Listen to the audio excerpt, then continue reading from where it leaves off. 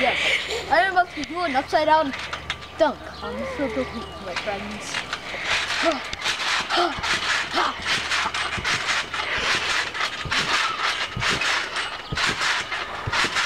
I'm not sure if I knew this. Uh, oh.